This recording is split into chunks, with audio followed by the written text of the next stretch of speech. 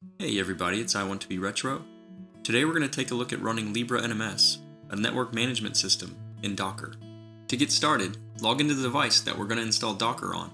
First, we'll use apt install to install a few prerequisite packages required to install Docker. Then we'll add the Docker GPG key in apt repository.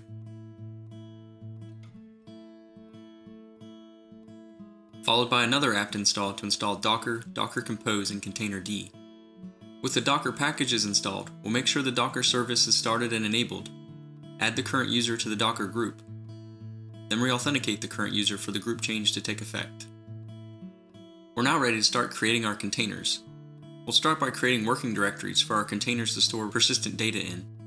Then using the docker run command, we'll create a MariaDB database backend container. Followed by a second docker run command to create the Libre NMS container.